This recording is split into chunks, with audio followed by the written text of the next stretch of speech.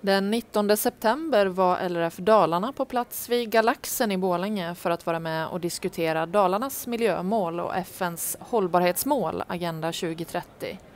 Miljökonferensen hölls av Länsstyrelsen i Dalarna och Region Dalarna och på plats var politiker, tjänstemän, företagare och nationella uppdragsgivare för att diskutera miljö och hållbarhetsarbetet. LRFs representant var eh, regionordförande Martin Moreus som pratade livsmedel och jordbruk. Ja, det är ju en konferens kring de här eh, miljömålen som vi har och eh, det, de revideras och ses över handlingsplan för det var fjärde år och LRF är ju en part i, det, i den processen så därför tyckte vi att det var viktigt att vara här helt enkelt. Vad har man pratat om här idag? Ja, det har kommit inspel från olika intressen och vi har pratat mycket om stuprörstänk, eh, att eh, var och en ger sitt inspel från sitt intresse och där bidrog väl jag då kanske med eh, att presentera då hur lantbrukets förutsättningar i Dalarna är och hur vi lite kortfattat ser på, på de här frågorna. Det här är Joakim Borgs nere från Gustavs. Han har mjölkproduktion och spannmålsproduktion. Han har under de senaste tre åren ökat sin areal med 10 procent per år folk slutar och någon ska bruka marken och, och han, han är beredd att göra det. Men han har dessutom satt målet att göra det utan att öka den årliga bränsleförbrukningen på sin gård. Han ska alltså bli ur, ur bränsleförbrukningsperspektiv 10% mer effektiv varje år. Och det har han klarat under tre års tid. Tack vare modernare maskiner, eh, ändrade metoder för, för odlingen eh, och helt enkelt ett effektivare sätt att hantera sin odling. Vilka av våra frågor skulle du säga är viktiga att lyfta här idag?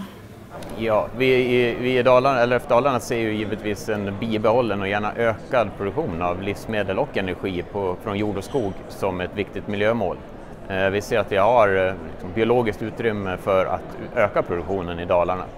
Eh, vi kommer fortsätta att konsumera eh, så att då tycker jag att vi kan vara med och bidra med att producera också så att vi inte belastar redan hårt belastade områden ute i övriga Sverige och i världen.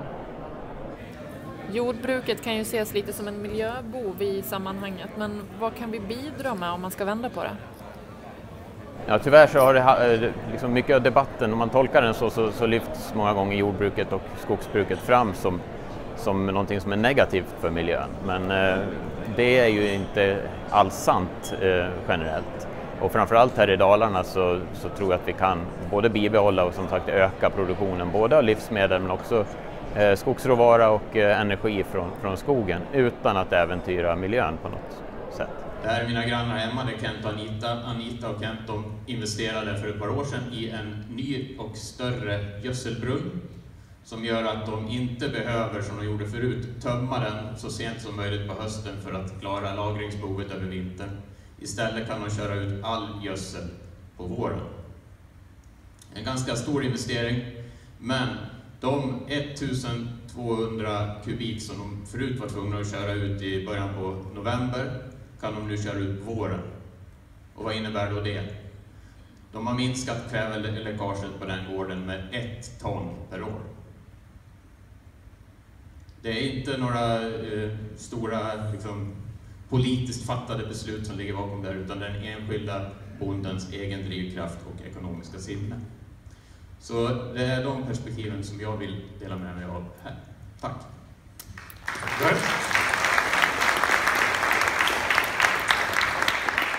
Vatten för vatten.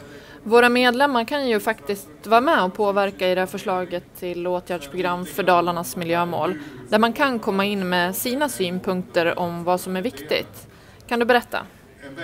Ja, LRF är ju en, eh, en remissinstans i, till det här och eh, remissen ligger ute på Länsstyrelsens hemsida och jag tror att vi har till 30 november var på att komma in med ett svar på den remissen. Så att eh, de medlemmar som vill och känner sig engagerade får gärna själva skriva ett remissvar och komma in med till Länsstyrelsen men eh, om man inte känner att man orkar göra det så kan man gärna komma med synpunkter till oss på LRF Dalarna så kan vi ta hänsyn till det i vårt remissvar.